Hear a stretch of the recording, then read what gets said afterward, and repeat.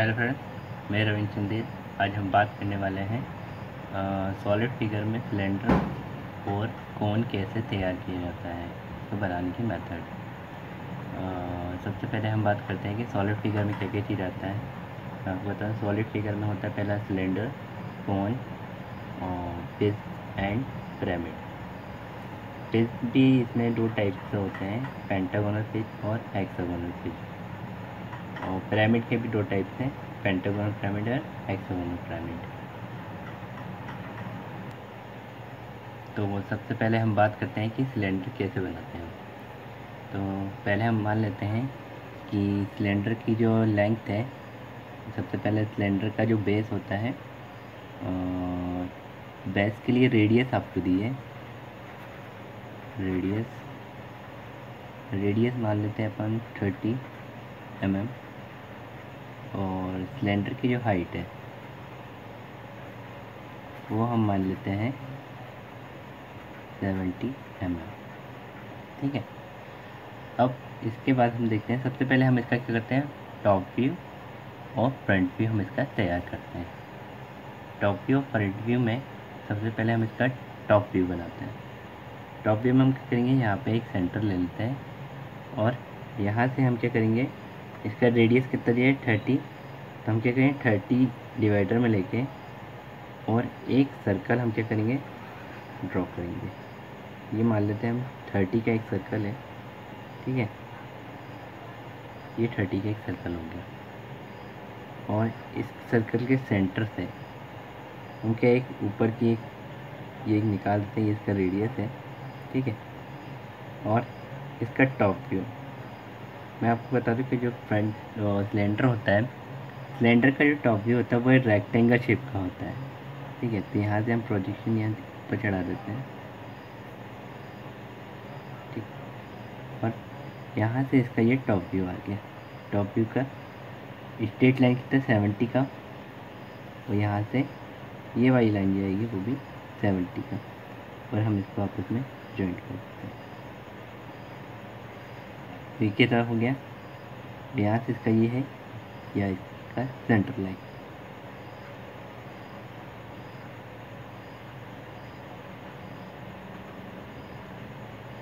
ठीक है। ये इसका हो गया फ्रंट व्यू और ये हो गया इसका top view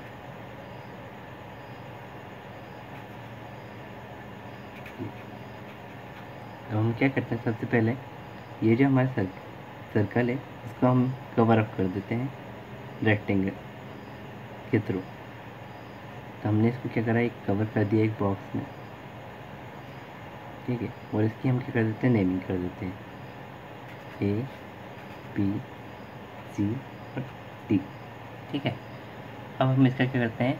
three D diagram बना चाहिए यहाँ से ये क्या हो गया? आ, इसका ओ और ये रेडियस आर अब हम क्या करते हैं, सबसे पहले इसका आइसोमेट्रिक डायग्राम बनाएँगे। आइसोमेट्रिक के लिए हम क्या करेंगे, एक सीधी लाइन निकालेंगे। यहाँ से एक सेंटर मान लेते हैं और यहाँ से हम क्या करेंगे कि एक थर्टी का एंगल यहाँ से निकाल देंगे और एक थर्टी का एंगल हमने यहाँ से निकाल दिया। ठीक है? थर्टी थर्टी के दो एंगल निकाल दिए। अब मान लो कि ये जो सेंटर है, इस सेंटर का हम मान लेते हैं ए यहाँ से एंगल कितने का थर्टी और ये वाला एंगल क्या है? ये भी थर्टी ठीक है? तो हमने इसको ए मान लिया. ए के राइट में क्या है? बी है और ए के लेफ़्ट में डी है. तो हम क्या करते हैं? यहाँ से यहाँ तक डिवाइडर में लेके यहाँ से हम क्या करेंगे? एक आर कट करेंगे. तो यहाँ से यहाँ तक डिवाइडर में लेके के लेफ़्ट में एक आर ये कट करेंगे तो ये हमें बी पॉइंट मिलेगा. ये डी अब हम क्या करेंगे? यहाँ से यहाँ तक लेंथ देख के बी पर रख के एक आर ऊपर कट करेंगे. और यहाँ से डी से यहाँ तक देखेंगे सी तक, वही कार ये कट कर करेंगे। क्या करेंगे? इन पॉइंट को आपस में ज्वाइन कर देंगे। ठीक है?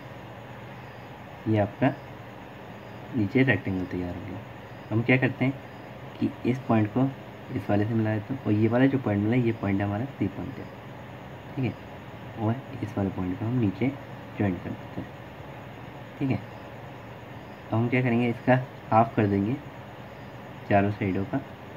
वो हाफ़ करके हम क्या करेंगे? ऊपर के दो पॉइंट पे नीचे वाले कॉर्नर से ज्वाइन कर देंगे।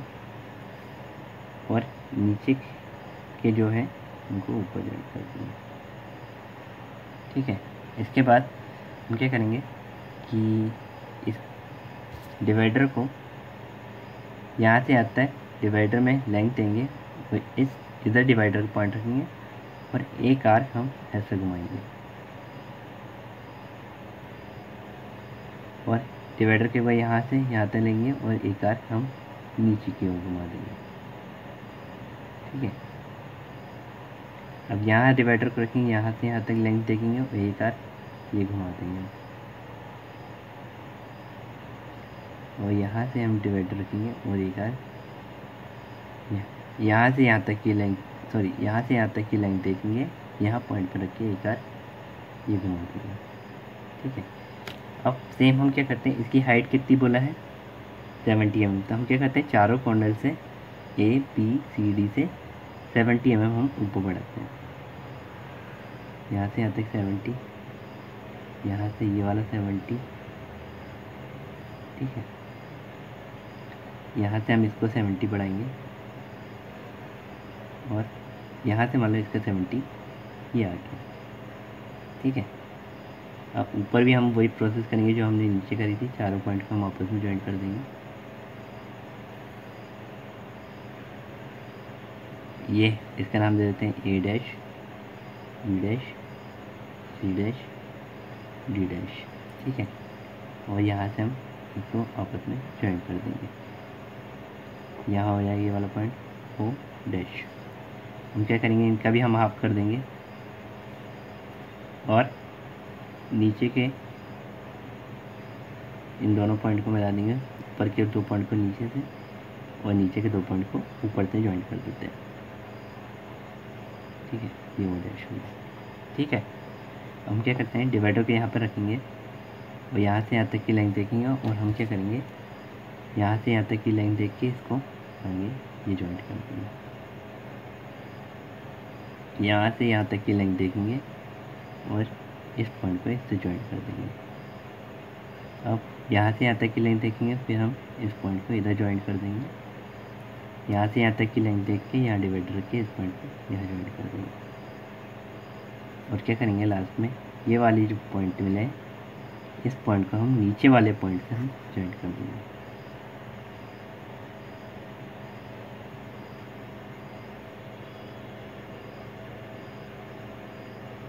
स्ट्रेट लाइन लेके हम इनको नीचे मिला देंगे तो ये आपका एक सिलेंडर यहाँ पे देखिए, जो रेड कलर से बना हुआ है, ये पूरा आपका एक सिलेंडर तैयार हो गया है।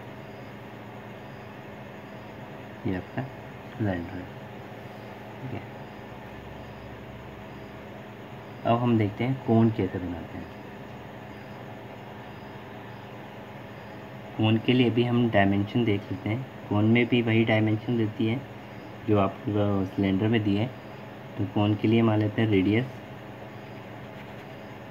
रेडियस आपका मान लेते हैं, आपका मान लेते हैं हम फोर्टी एम एम और आपकी जो हाइट है सिलेंडर कोन की हाइट है कोन की हाइट मान लेते हैं हम सिक्सटी एम एम तो हम इसका पहले क्या करेंगे? टॉप व्यू तैयार करेंगे। टॉप व्यू में हम क्या करेंगे कि इसमें ये सेंटर ले लिया। यहाँ पे हम क्या करेंगे? फोर्टी एम एम रेडियस का एक सर्कल हम ड्रॉ कर लेते हैं। ठीक है? ये हो गया। यहाँ से हम क्या करेंगे? सीधी स्ट्रेट लाइन निकाल देते हैं। और मैंने बताया कि जैसे ये कोन होता है। कोन का जो फ्रंट व्यू होता है वो ट्रायंगल शेप का होता है। तो हम क्या करेंगे? पहले इसके पोजीशन को ऊपर बढ़ाएँगे। यहाँ से एक स्ट्रेट लाइन निकाल देंगे। और ये दो पॉइंट हो गए। इसका सेंटर हम निकाल लेते हैं।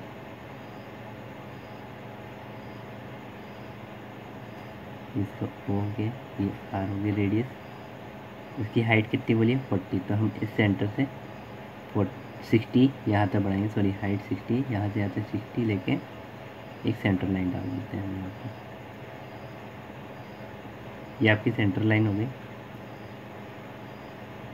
और हम क्या करते हैं, इन दोनों लाइनों को इधर ज्वाइंट कर देते हैं। इस तो ये क्या हो गया कोन का फ्रंट व्यू और ये उसका ये फ्रंट हो गया, और ये टॉप हो गया। अब हम इसको क्या करते हैं कवर अप कर देते हैं।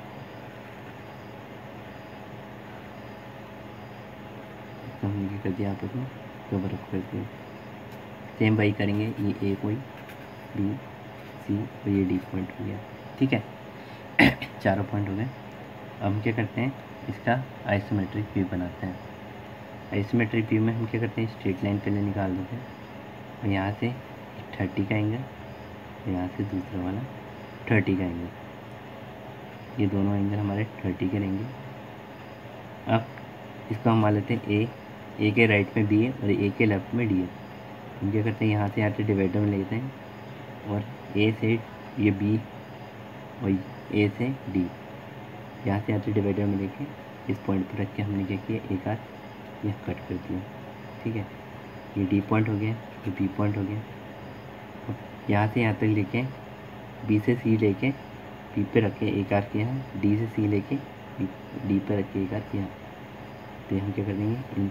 ये हमें पॉइंट मिलेगा और इसको हम सी और डी से मिला देते हैं। हम नीचे आके ये वाला पॉइंट जो मिला वो सी होगा और सी पॉइंट को ए से और डी पॉइंट को बी से ज्वाइन कर देते हैं। और इनका हम क्या करेंगे? सेंटर कट निकाल देंगे। सेंटर निकाल लिया हमने चारों लाइनों का और ऊपर के दो पॉइंट को हम नीचे मिला देंगे और नीचे के दो पॉइंट को हम ऊपर मिला देंगे। ठीक है? अब इसके केंद्र मतलब इसका सेंटर यहाँ पे आ रहा है। इसके सेंटर से हम क्या 60 एम एम कहाँ ऊपर आएगा? तो हमने एक पॉइंट लगा दिया। मान लो कि इसके सेंटर से सिक्सटी एम एम यहाँ पर आ रहा है। अब हम क्या करेंगे कि डिवाइडर को यहाँ रखेंगे। यहाँ से आते लाइन देख एक आर की कट करेंगे पूरा। ये एक आर का आ गया। अब यहाँ डिवाइडर को यहाँ से यहाँ तक लेंगे देखेंगे। एक आर ये कट कर देंगे। अब यहाँ से यहाँ तक डिवाइडर यहाँ से यहाँ तक लेंथ देके यहाँ डिवाइडर को रखेंगे एक आर का हम यहाँ घुमा देंगे। यहाँ डिवाइडर को रखेंगे यहाँ से यहाँ तक लेंथ देके एक आर ये घुमा देते हैं। ठीक है। हम क्या करेंगे? ये दो पॉइंट जो हमें मिलेंगे यहाँ पे जो लाइनों पे कट होंगे, इसको हम क्या करेंगे? ऊपर का ये सेंटर है, इसको हम ज्वाइन कर देते हैं। नीचे वाली लाइन पे ज्वाइन कर देते हैं। और इस वाले पॉइंट को हम इस वाले पॉइंट से ज्वाइन कर देते हैं। तो इसका सेंटर लाइन यहाँ से निकालें। ठीक है थ्री में सेंटर लाइन निकालने की ज़रूरत नहीं है। इसका आप यहाँ से सेंटर निकाल सकते हैं। सेंटर तो ये जो आपको बन गया, ये क्या है आपका? कोन कोन का आइसोमेट्रिक कोन का सेंटर और ये उसका बेस ये जो बना है ये क्या है? कोन तो आज के लिए इतना ही। Thank you very much